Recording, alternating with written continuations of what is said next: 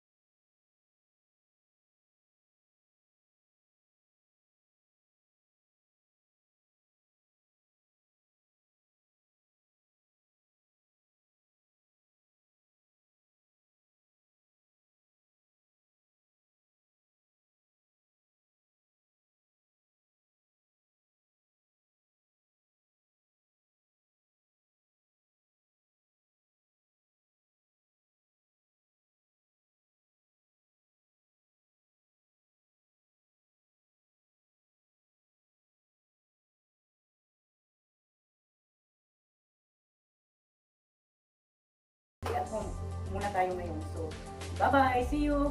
God bless you. See you in my next vlog. Bye-bye. Thank you. Thank you for watching. Bye. Bye.